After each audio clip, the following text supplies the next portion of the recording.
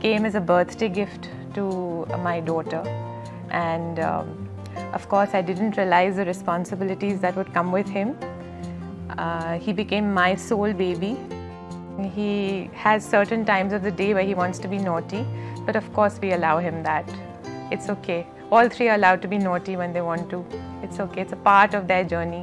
One thing I learned from all three of them is patience. Motherhood is a beautiful journey, and everyone who hasn't been down that road is really missing something in their lives.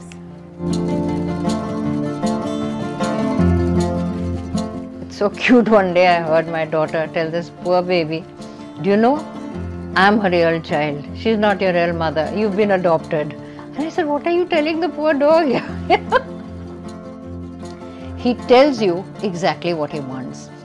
One day he called my brother to my room pointed his snout at the AC and he looked at him expectantly and uh, started wagging his tail. He wanted the AC on. At some point, people give priority to human babies over dog babies. I don't think it is correct because they both need equal amount of love, equal amount of attention and care.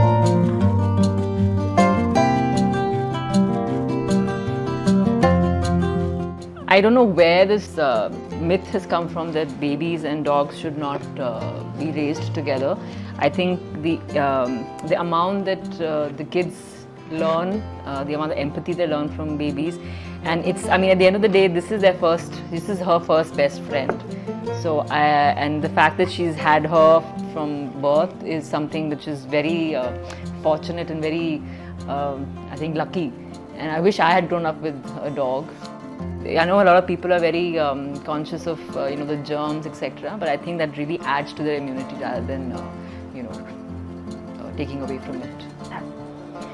I remember someone telling me this once that you know a dog has left his own family to come and give love to us, and I think that's a really huge sacrifice. And I feel very fortunate to be at the receiving end of such unconditional love, and for my own daughter to also receive such love.